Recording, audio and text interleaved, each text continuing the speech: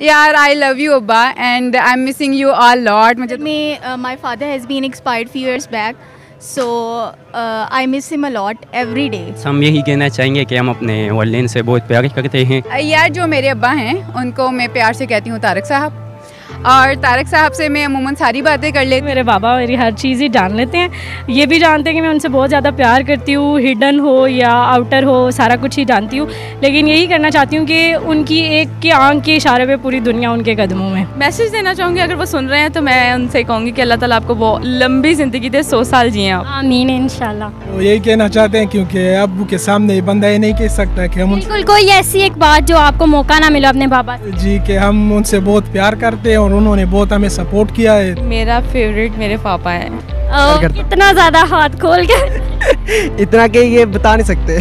Actually मेरे father तो फोत हो चुके हुए हैं बट उन्होंने अपनी लाइफ में जो है वो हम लोगों के लिए बहुत कुछ किया है। सीन ये है कि सबसे ज़्यादा जो है ना मुझे अपने फादर से है ये नहीं कि मुझे मामा से नहीं है। I love my father and I love my family हाँ बाप एक ऐसी चीज़ है जिससे बहुत ज़्यादा मोहब्बत होती है। बेटी को उसकी जूती से भी मोहब्बत। अज़ीज़ तर, वो मुझे रखता है रगे जहाँ से। ये बात सच है कि मेरा बाप कम नहीं मेरी माँ से।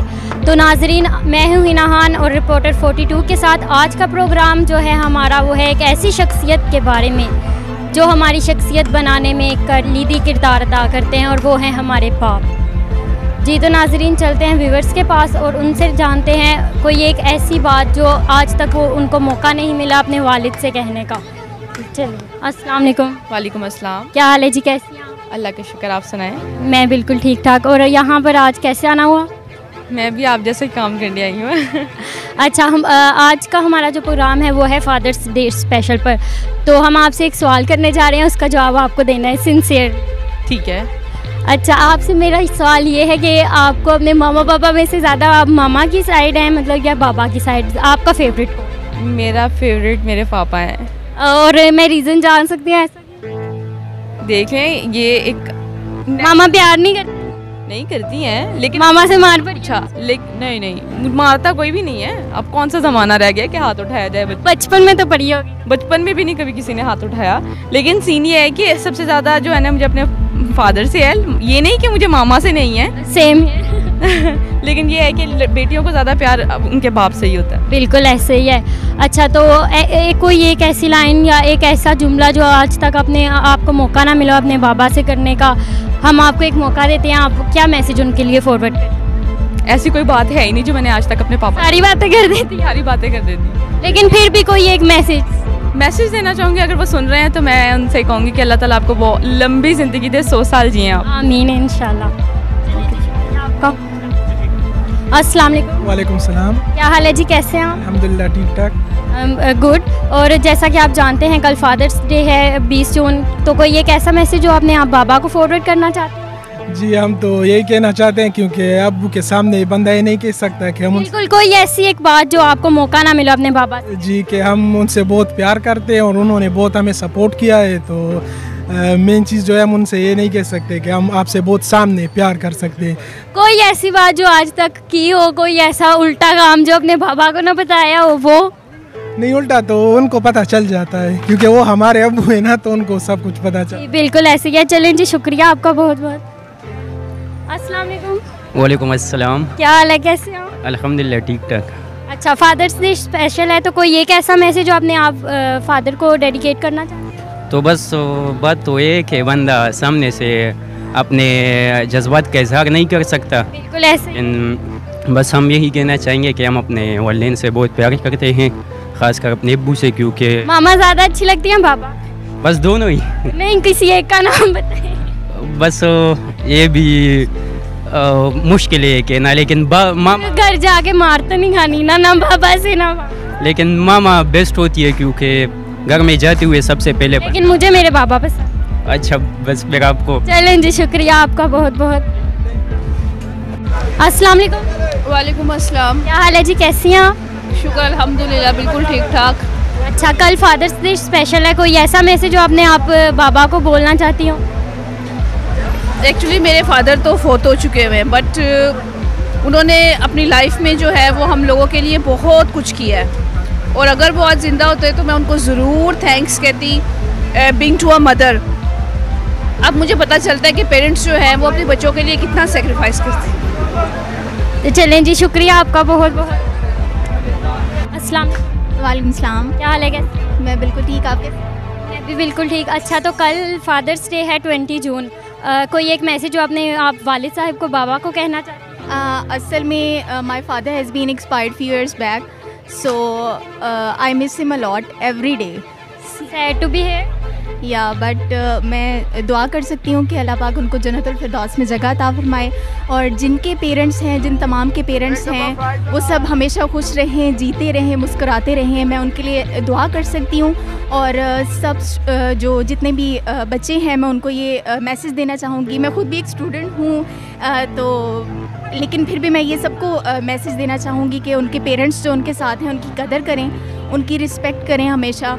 और ये ना हो कि जिस दिन वो आप अ, की दुनिया से चले जाएँ तो आपको फिर पछतावा बाद में अफसोस। या कि आपने उनकी रिस्पेक्ट नहीं की या आपने उनकी कोई ख्वाहिश पूरी नहीं चलें जी शुक्रिया बिल्कुल आमीन। अल्लाह ताला जिनके माँ बाप इस दुनिया से गुजर चुके हैं उनको जन्नत फिरदौस में आला मुकाम अता फरमाए।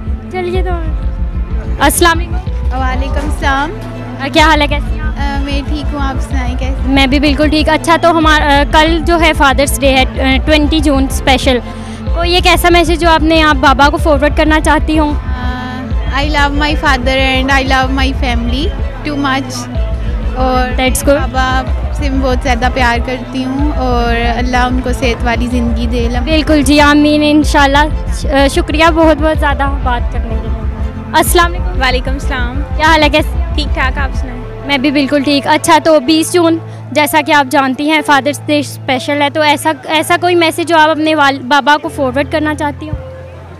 हाँ बाप एक ऐसी चीज़ है जिससे बहुत ज़्यादा मोहब्बत होती है। बेटी को उसकी जूती से भी मोहब्बत होती है। बिल्कुल ऐसी है लेकिन कोई ऐसी एक बात जो आज तक आपको मौका ना मिलो अपने बाबा से करने का वो आपको मौका दिया जाए तो आप क्या कहेंगे? I love you he loves her dad and me too अस्सलाम वालेकुम। वालेकुम अस्सलाम। क्या हाल है जी? कैसे हैं आप? अल्लाह का शुक्र है मैं ठीक हूँ। गुड और कल है फादर्स डे स्पेशल 20 जून के हवाले से कोई एक ऐसी बात या कोई एक मैसेज आप अपने पेरेंट्स को फॉरवर्ड करना चाहती हैं? बिल्कुल मैं मैसेज यही फॉरवर्ड करना चाहूँगी पेरेंट्स बच्चों को कि मतलब पेरेंट्स की ना बहुत ज़्यादा केयर करें। बिल्कुल ऐसे आते हैं उनकी बहुत ज़्यादा उन उन लोगों को लुक आफ्टर करें सही तरीके से और केयर करें बहुत ज़्यादा रिस्पेक्ट दें बहुत ज़्यादा। बिल्कुल ऐसे ही है। चलें जी शुक्रिया आपका। जी थैंक यू सो मच